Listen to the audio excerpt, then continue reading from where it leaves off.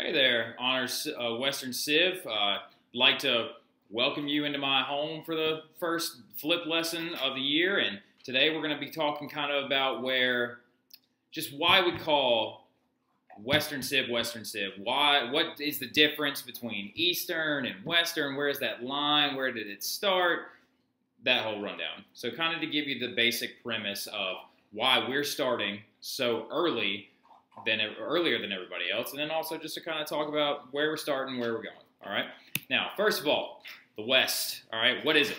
What does it mean? How, how like why why why do we do that? So, what do we mean when we speak of the West? What we mean when we speak of the West in culturally in terms is number one, a free and participatory government. All right.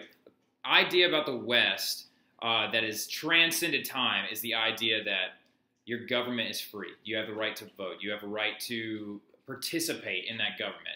Now, were there periods of time where this wasn't true? Of course there were. But eventually it's all come back to that. Also, religious toleration is another big part. We have multiple, multiple religions that exist within most Western cultures. The last idea is that they're capitalist, all right? So now this is the current day West. This is the West that exists today, kind of where it's gone.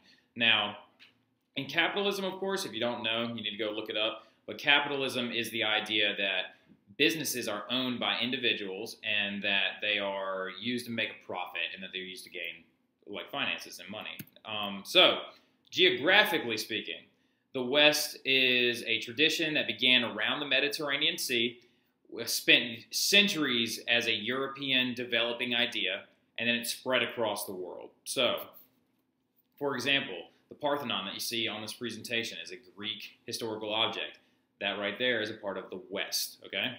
Now, if that would have been a spire from a Persian city, that would be considered a part of the East. So, now the West. The idea of the West is kind of controversial. A lot of historians don't like to believe in it because of the presence of slavery and freedom, which also is a part of the social class system.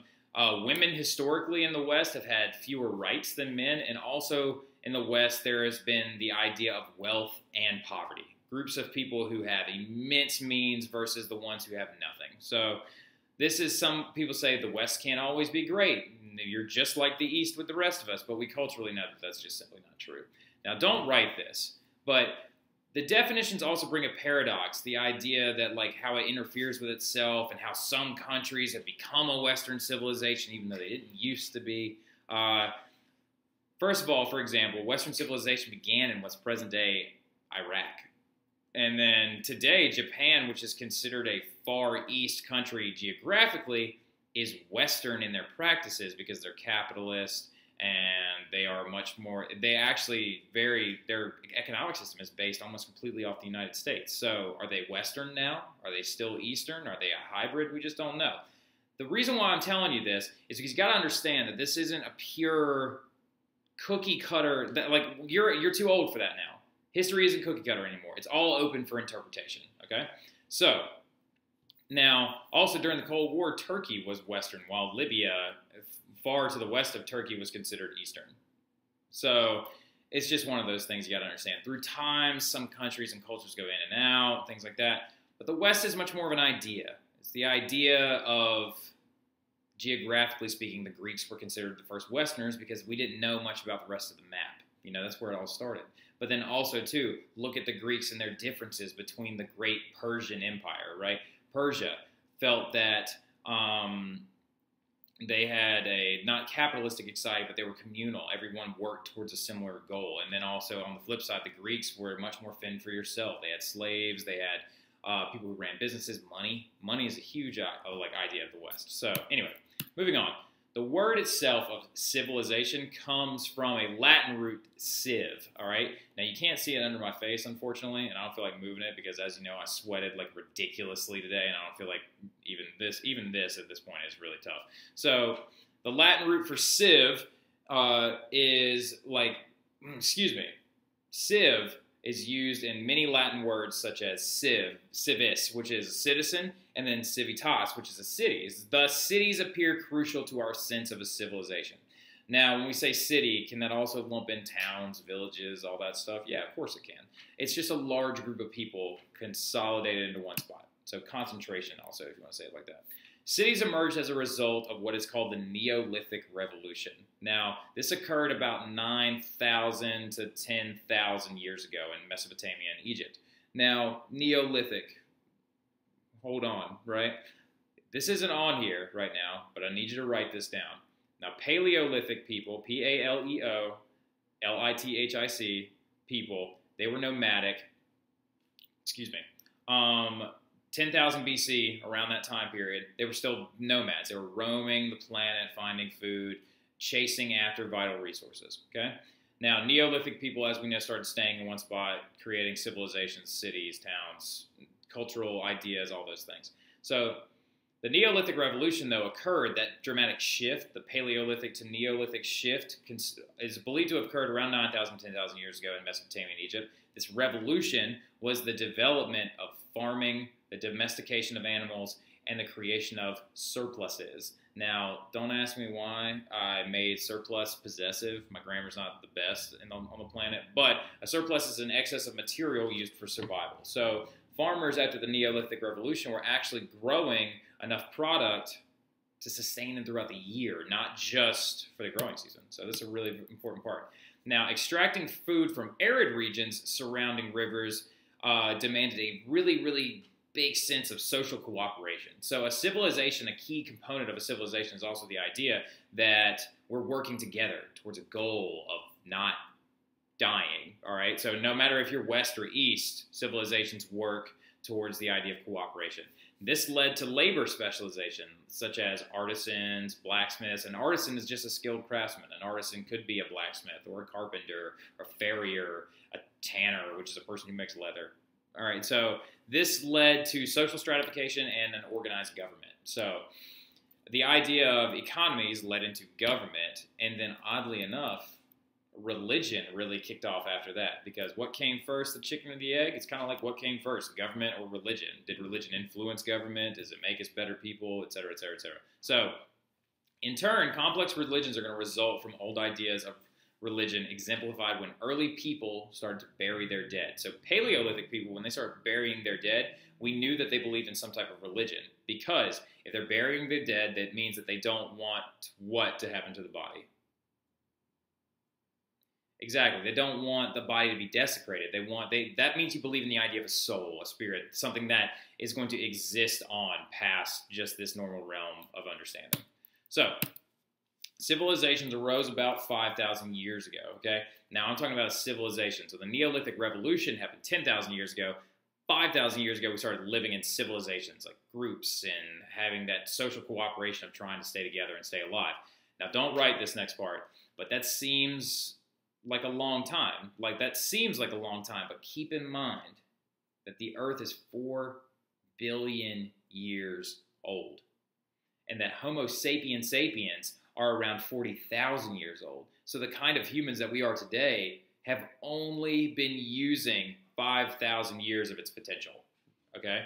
Now, their ancestors, the ancestors of Homo sapiens sapiens, which are Neanderthals, Cro Magnums, uh, what else? The original Homo sapiens, uh, Australopithecus, those guys are 100,000 years old.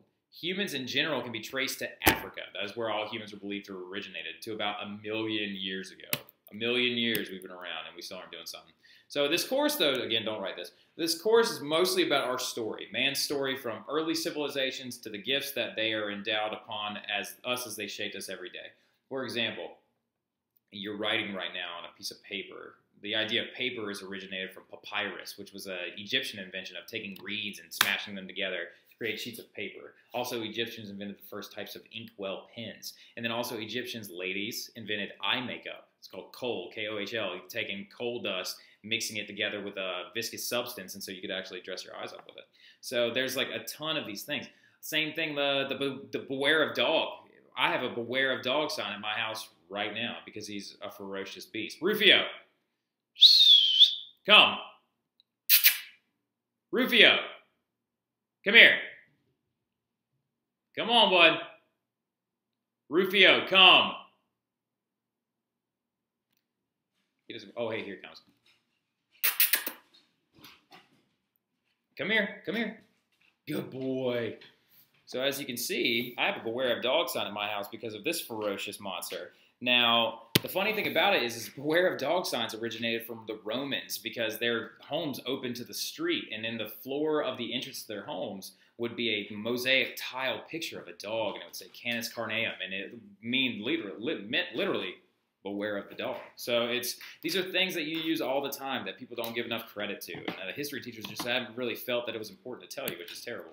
Now the first humans are are we're not even going to talk about the first humans, actually. Scratch that. Now, hominids are man in general. Now, hominids are going to spread all over the world through migration and settlement. Now, that leads to a lot of people understanding the idea of like, why was it so easy for the Europeans to take over the Native Americans? Well, it was easy for them because the Native Americans had only been organized for like, you know, a couple thousand years, whereas the Europeans had been organized for almost 5,000 years up to that point.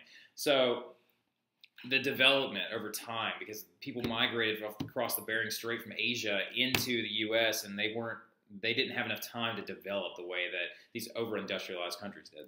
So now don't write this, but this is just how long the list of people have been around, like Australopithecus, Homo erectus, Homo sapiens, Neanderthals, Homo sapiens sapiens. We've been taking a long time getting to this point.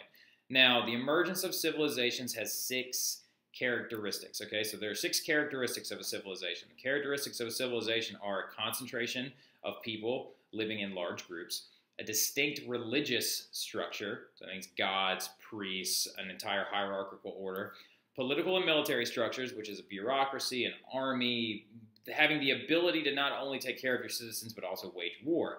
Um, social classes are a characteristic of, uh, excuse me, a, of a civilization also record keeping, writing, being able to literally, we are a civilization to this day simply because we write down occurrences. Y'all are all historians all the time when you get catch on to Twitter or Instagram or anything like that. And then also, the last characteristic of a civilization is artistic and intellectual activity. So, this is where our journey starts, though. We're going to start here in the Fertile Crescent between the Tigris and the Euphrates rivers. We're going to discuss uh, Sumeria and Mesopotamia and kind of how they set the foundation. Now, they're an Eastern civilization, but they're going to set up Western Civ. So we're going to talk about them. We'll start with them tomorrow. I hope you all have a fantastic evening. Uh, like I said, this one's a little bit longer, but it's because I wanted you to see my dog. So all y'all have a great evening. Ray, I'm going to be looking for your notes tomorrow. I'll see y'all then.